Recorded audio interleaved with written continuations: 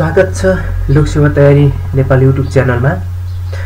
आज म प्रश्न नम्बर चारबाट प्रश्न उत्तर लिएर उपस्थित भएको छु। नेपालमा पर्यटन विकासको महत्त्व औल्याउनुहोस् अतिथि देवो भव देशको प्राकृतिक सामाजिक सांस्कृतिक ऐतिहासिक र धार्मिक विशेषताको अवलोकन गर्न आउने घुम्न आउने सेयर गर्न आउने मानिसहरूलाई खाना वासस्थान मनोरञ्जन आदिको व्यवस्था मिलाउने व्यापारिक क्रियाकलापहरूको समष्टिलाई पर्यटन भनिन्छ।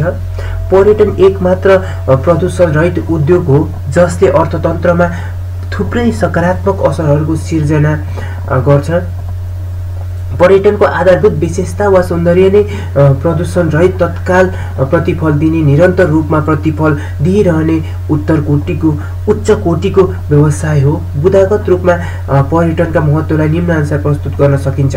रोजगारी वृद्धि गरी गरिबी निवारणमा प्रत्यक्ष सहयोग पुग्ने भएकाले कम लगानीमा बढी प्रतिफल प्राप्त हुन सक्ने वैदेशिक सम्बन्धलाई बलियो बनाउन सहयोग पुग्ने विदेशी मुद्रा आर्जनको प्रमुख स्रोत भएकोले अन्तर्राष्ट्रिय जगतमा नेपाललाई चिनाउन सहयोग पुग्ने भएकोले हवाई हवाई व्यवसाय विस्तार हुने कुल ग्रास्त उत्पादनमा वृद्धि गर्न स्वदेशी कला संस्कृतिको विश्व बजारमा प्रचार प्रसार गरी बढी लाभ लिन सकिने दिगो र समावेशी विकास गर्न निष्कर्ष मनोरञ्जन प्राकृतिक सौन्दर्य अतुलनीय सांस्कृतिक सम्पदा एवं अनगिन्ती विशिष्टताका कारण नेपालले पनि पर्यटन विकासका लागि प्रचुर सम्भावना बोकेको छ। पर्यटन मैत्री विकासका पूर्वाधारको निर्माण गरी मुलुकमा सबै मौसममा पर्यटकीय क्रियाकलापहरू सञ्चालनका निम्ति आन्तरिक पर्यटनलाई प्रोत्साहन गर्ने सकेको खण्डमा नेपालको समृद्धिको नारा